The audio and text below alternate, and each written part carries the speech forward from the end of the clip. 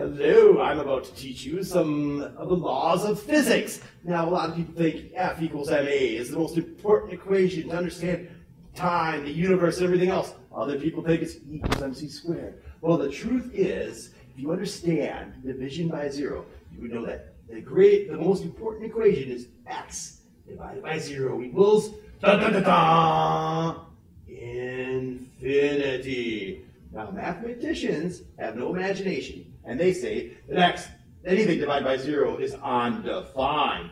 Well, we're defining as infinity right now. Now, see, here's the deal. If you take 1 divided by 1, you get 1. Take 1 divided by 0.01, you get 10. And so on. It goes. If you were to graph it out, you would notice that as you approach 0, that you start approaching infinity. So one can extrapolate that once you hit zero, it is not undefined, but it is infinite. So any number divided by zero equals infinity. What you're saying is, when you remove all the nothing from something, you're left with everything. which makes perfect sense. And you may be saying to me right now, well, what if x equals zero? because any, any number divided by itself is supposed to equal 1. So that would mean 0 divided by 0 equals 1.